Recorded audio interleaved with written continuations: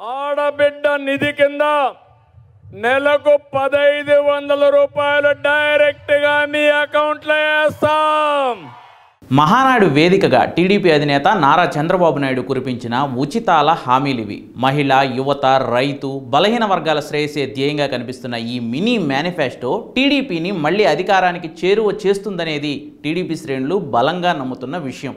చంద్రబాబు నాయుడు కూడా అంతే కాన్ఫిడెంట్గా కనిపించారు నిన్న మహానాడు బహిరంగ సభలో.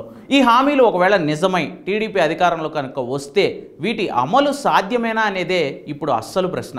వైఎస్ఆర్సీపీ చెబుతోంది చంద్రబాబు ఇచ్చిన మినీ మేనిఫెస్టోలో తమ పథకాలను కాపీ చేశారు అని. ఎందుకంటే వైఎస్ జగన్ గత ఎన్నికల ముందు ఇచ్చిన నవరత్నాల హామీలే వాళ్ళను అధికారంలోకి తీసుకొచ్చాయని ఆ పార్టీ నమ్మకం. అందుకే ఎప్పటికప్పుడు హామీలను తొంభై శాతం నెరవేర్చాం తొంభై ఐదు శాతం నెరవేర్చామని చెబుతూ వస్తున్నారు.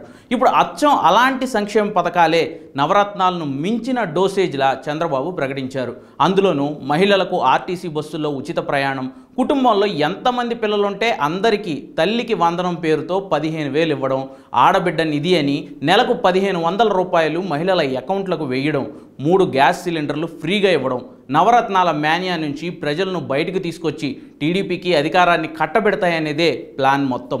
దీనికి ఇన్స్పిరేషన్ ఢిల్లీలోని ఆప్ సర్కార్ కర్ణాటకలోని కాంగ్రెస్ గెలిచిన తీరే అని చెప్పుకోవాలి. మహిళలకు బస్సుల్లో ఉచిత రవాణా ఢిల్లీలో అమల్లోకి వచ్చింది. కర్ణాటకలో కూడా సేమ్ హామీ ఇచ్చారు. జగన్ ఇస్తున్న అమ్మఒడిని మర్చిపోయేలా తల్లికి వందనం కార్యక్రమాన్ని డిజైన్ చేశారు. అమ్మఒడి కుటుంబంలో ఒక్క పిల్లాడికే వస్తుందన్న కారణం పెట్టుకుని కుటుంబంలో చదువుకునే ప్రతి పిల్ల పిల్లాడికి తల్లికి వందనం ఇస్తామని చెప్తోంది టీడీపీ. ఇక రైతులకు ఏడాదికి ఇరవై వేల రూపాయలు ఇస్తామనడం మరో పథకం. ఇంటింటికి కుళాయిని కూడా ప్రకటించారు. ఇలాంటి కాన్సెప్ట్ తెలంగాణలో ఆల్రెడీ ఉంది. మిషన్ భగీరథ హిట్ అయిందని బీఆర్ఎస్ కూడా క్లెయిమ్ చేసుకుంటుంది. ఇక నిరుద్యోగ భృతి గతంలో టీడీపీ ఇస్తామని చెప్పిన దానికంటే ఎక్కువగా యువగళం నిధి పేరుతో మూడు వేల రూపాయలు ఇస్తామని ప్రకటించారు చంద్రబాబు. సో ఇవన్నీ హామీలు. టాప్ వ్యూ నుంచి చూస్తే ఇవన్నీ కూడా జగన్ ఇస్తున్న పథకాలను మించేవి లేదంటే జగన్ కవర్ చేయని స్పేస్లో ఉన్నవి.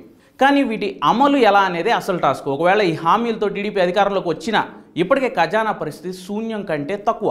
రెండు వేల ఇరవై మూడు బడ్జెట్ టైంలో లోక్సభలో ఓ ప్రశ్నకు ఏపీ అప్పులు నాలుగు లక్షల నలభై రెండు వేల నాలుగు వందల నలభై రెండు కోట్లని తేలింది. అది కాకుండా ఖజానా నిర్వహణకు ఆర్బీఐ నుంచి రాష్ట్ర ప్రభుత్వం అప్పులు తీసుకొస్తూ ఉంది మొన్నటి మార్చిలోనే ఆరేళ్ళ టైం బౌండ్కి తొమ్మిది వందల యాభై ఎనిమిది కోట్ల రూపాయల అప్పులు తెచ్చారు. సో రేపు టీడీపీ వచ్చిన ఈ అప్పు అంతా వాళ్ళ కళ్ళ ముందు కూడా ఉంటుంది. పైగా ఆంధ్రప్రదేశ్ ఆర్థిక పరిస్థితి శ్రీలంకలా తయారైపోయిందని టీడీపీ అధినేత చంద్రబాబు సహా ఆ పార్టీ నాయకులంతా ప్రచారం చేస్తూ వచ్చారు ఇన్నాళ్ళు. ఇప్పుడు టీడీపీ అధికారంలోకి వస్తే ఈ సంక్షేమ పథకాల అమలుకు ఉచితాలను నెరవేర్చడానికి డబ్బు ఎక్కడి నుంచి తెస్తారనేది అస్సలు డౌట్.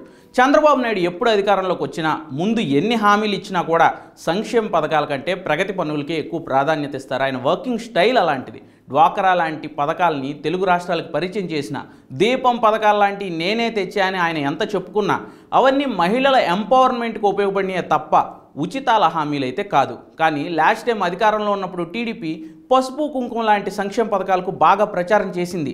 అవన్నీ వెయిట్ చేసి వెయిట్ చేసి లాస్ట్ ఇయర్ ఇవ్వడం అనేది కూడా టీడీపీకి బాగా మైనస్ అయిందని చెప్పుకుంటారు. జగన్ నవరత్నాలు లాంటి హామీలు ఇచ్చి అధికారంలోకి వచ్చారు. సో జగనే అన్ని ఇచ్చినప్పుడు నేను ఇవ్వలేనా అన్నట్లు చంద్రబాబు ప్రకటించారా?